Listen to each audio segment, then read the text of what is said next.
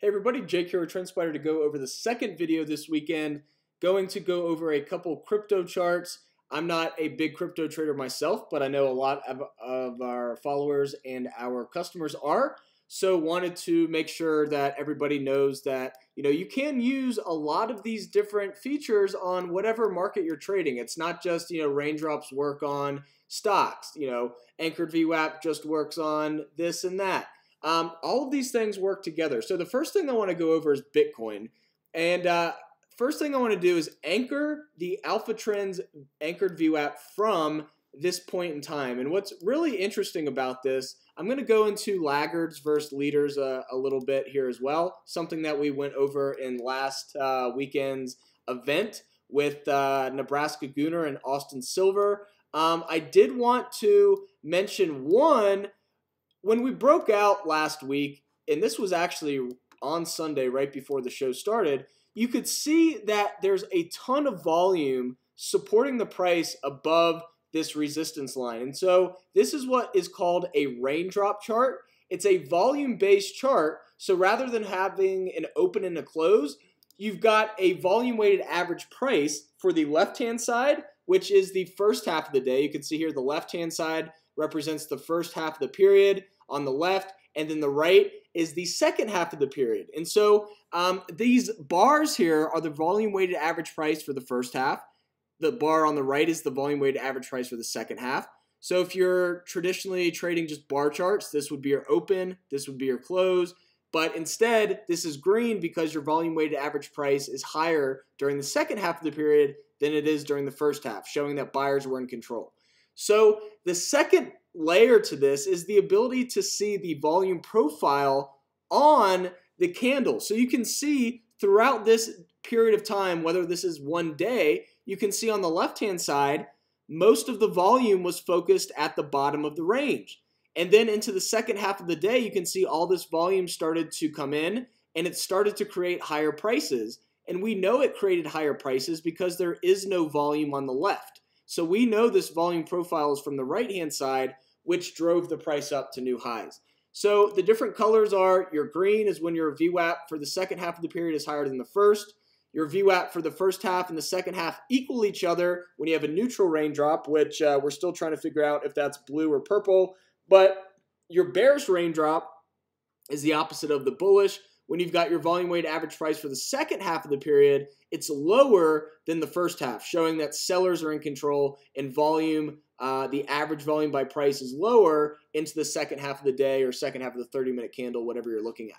So now when we look at this uh, chart, we can understand that when we did break out here, there was a lot of that volume above the resistance line.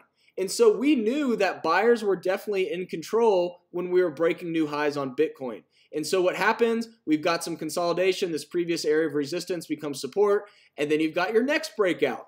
And you, we've pretty much got this kind of ascending, uh, kind of ascending triangle breakout here. Notice once again, a lot of the volume was at the top of the range here, very similar to the candle that we just went over. We can see that during the second half of the day, a lot of the buyers came in pushing price up to new highs with this volume. And you can see we've almost got a very similar chart here. You can see the price is slowly starting to try to creep up again.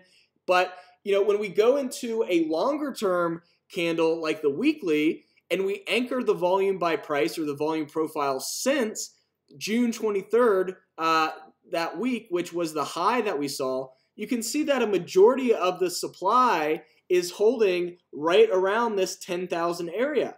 So notice what happened. We formed a base here. Price bounced off of this base, which was our demand zone. We were able to move very quickly through this zone because there wasn't a lot of shares holding. And then we finally uh, kind of pulled back a little bit once we started to hit this supply zone above. So, you know, will price continue up and really hit this supply zone just like we did previously? And remember, this supply zone was here before. So this was a classic zone to watch when we when we pulled back at 10k last time. So uh, you know we'll see what happens. But from a leader and lagger perspective, notice that Bitcoin broke out uh, initially through this anchored volume weight average price from February 12th, and we anchored it from here because that was just the reversal of the trend. So we initially broke through you know, actually broke through and closed above this zone on March, uh, that was April 1st. Now, if we go to Litecoin and we anchored the volume by price from the same point in time, you'll notice something very strange here on Litecoin. You'll notice that Litecoin is literally just breaking out of this anchored VWAP. And so if we compare this to Bitcoin, Bitcoin's like up here right now. I mean, like this is kind of, if you want to, relatively speaking, compare the two, you know, Bitcoin's pretty much at this point, considering that it broke through this line on April 1st, whereas Litecoin is just breaking through it. So is Litecoin a laggard? Who knows? We'll have to see. But one thing that I want to point out here is uh, something that I haven't talked about on the other charts yet, uh, even on the uh, stock charts that we went over today, is the MACD. So if I can find the MACD on here, I got to add a new one. And in order to add an indicator, just type in MACD, pops up, apply. So now we can see here something very interesting, right? If we go and back test the MACD cross, let me just get rid of all these things. Um, you'll see something interesting, right? If we want to test what the weekly MACD cross has done over the lifetime of Litecoin, we can go and do that very easily by going to the market scanner. Uh, nope, strategy tester, just kidding. Uh, and what we can do here is we can go to the weekly and we want to uh, test the condition indicator. We want to do the MACD fast crossed up through the MACD slow and we want to know what the return was after five candles, or in this case, since we're doing the weekly candle, what's the return after five weeks once this is crossed? If we go and test this out, you'll see the mean trade return is 38, uh, excuse me, 39%. So remember, we were testing this as a long position. You can test it as a short position as well if you had, did have a short strategy. But if we see this on the chart, notice every single time we've had a cross, you know, here was our first cross here, 168% in five weeks. Here's our next cross. We had a negative 18% return. Here's our next cross here, which occurred right here. You can see on the chart, 4.15%. Here, you've got a MACD cross, and then you've got a 2.76% return. So you can see over time, you know, this one particular entry really is skewing the data. But, you know, generally we've had three winners versus one loser here. And you can see that here um, in the tabular data. Three winners, one loser. And so, um, you know, if the MACD did decide to cross again, notice that we're very close here. That is information that we'll want to know going into the weeks ahead. And so that's something that you can do on the platform. You can strategy test any um, strategy that you have, whether that's a function of a MACD cross or the price breaking through a moving average, whatever the case is, you can test that. So I did want to just mention here that one, this is kind of lagging versus the uh, versus uh, the Bitcoin chart. And if we go to let's say Ethereum or um, light, uh, Link, let's go to ETH USD on Coinbase.